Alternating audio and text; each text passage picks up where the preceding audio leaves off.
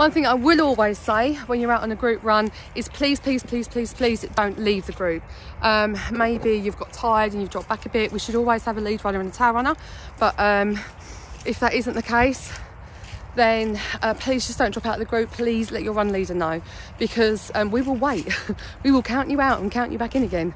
So um, even if it's someone you know really, really well um, and you're going to head off home, then please do let somebody know that you've gone.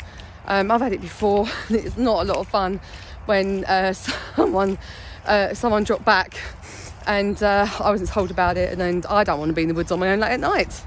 So uh, yeah, it's um it's about courtesy. Oh, and this really grinds my gears. Please thank your run leader. Um, because none of us, this isn't our jobs, this is what we do.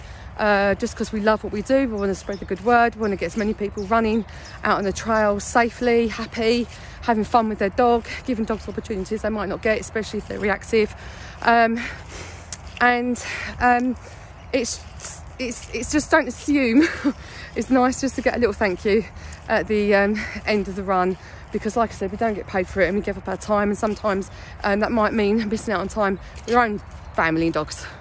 Thanks.